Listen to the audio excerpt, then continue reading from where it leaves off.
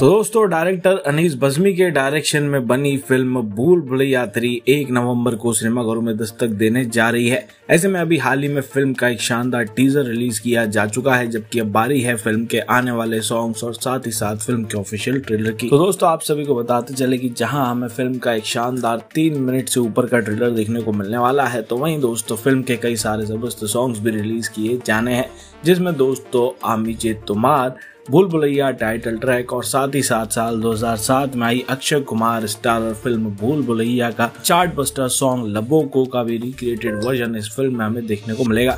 जी हाँ दोस्तों, शाइनी आहूजा और विद्या बालन पे सॉन्ग लबो को फिल्माया गया था और ये सॉन्ग काफ़ी ज़्यादा पब्लिक को पसंद आया था। साथ ही सॉन्ग में हमें आवाज़ सुनने को मिली थी केके की म्यूज़िक था प्रीतम का, जबकि लिरिक्स थे सईद कादरी के। ऐसे में दोस्तों, एक बार फिर से सॉन्ग को रिक्रिएट किया जा रहा है, जहाँ पे हमें केके की ही आवाज़ सुनने को मिलेगी और साथ ही साथ जो एडिशनल वोकल्स है, उसमें हमें विशाल मिश्रा या फिर अरिजीत सिंह की आवाज़ सुनने को मिल सकती है।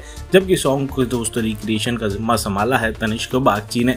जल्दी इस सॉन्ग का भी मेकर्स की तरफ़ से अनाउंसमेंट किया जाएगा, जहाँ पे इस सॉन्ग में हमें कार्तिक आर्यन और तृप्ति डिम्बरी रोमांस करते हुए नज़र आने वाले हैं। वहीं इसके अलावा फ़िल्म में अरिजीत सिंह का भी एक ज़बरदस्त सॉन्ग होने वाला है। वैसे दोस्तों फ़िल्म भूल भुलैया थ्री और फ़िल्म के आने वाले सॉन्ग्स को लेकर आप भी एक्साइटेड है, यानी हमें कमेंट करके बताएँ। साथ ही इसी तरह की तमाम अपडेट्स के लिए बने रही चैनल के साथ। कर दी चैनल को सब्सक्राइब साथ ही में दिख रहे बेल आइकन को भी दबा दीजिए।